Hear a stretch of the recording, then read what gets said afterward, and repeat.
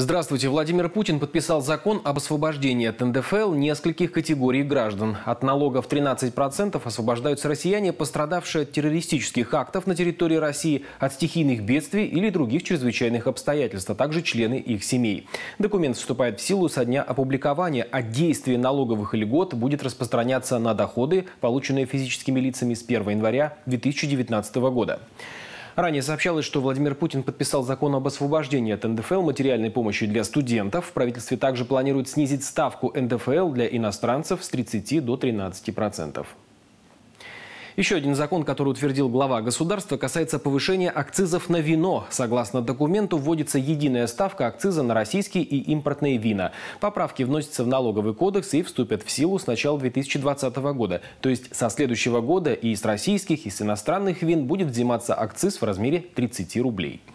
Кроме того, Владимир Путин утвердил введение акцизов на виноград и виноматериалы. В 2020 году ставка для винограда составит 30 рублей за тонну, а для виноматериалов – виноградного и фруктового сусла – 31 рубль за литр. Все это, безусловно, приведет к подорожанию вин для конечного потребителя. Правительство при внесении законопроекта объясняло, что повысить акцизы нужно для увеличения доходов бюджета. Еще один продукт, который может подорожать, это молоко. Цены могут вырасти на 12% из-за запуска электронной ветеринарной сертификации ЭВС, сообщили «Известия». Одновременно со стартом ЭВС уже идет эксперимент по маркировке продукции.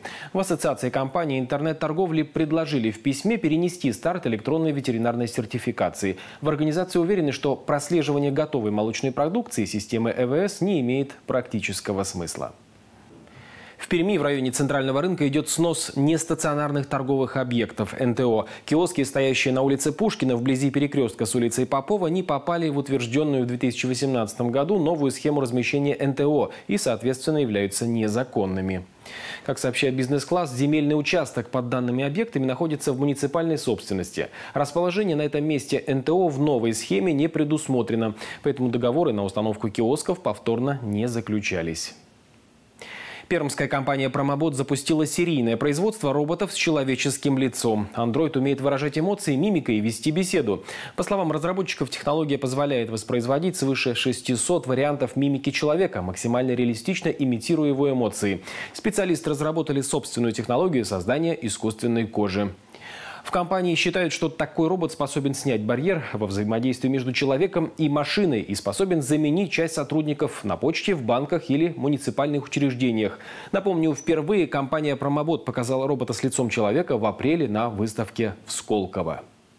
В Перми отмечен самый существенный рост цен на вторичное жилье среди российских городов-миллионников. Об этом свидетельствуют данные ЦИАН. По информации агентства, за сентябрь цены выросли почти на 3% до 60 200 рублей за один квадратный метр. В августе 2019 года средняя цена квадратного метра в Перми составляла 58 400 рублей. Курс доллара, установленный Центробанком на 1 октября, составляет 64 рубля 64 копейки, курс евро 70 рублей 71 копейка. На этом у меня все. Удачи в делах!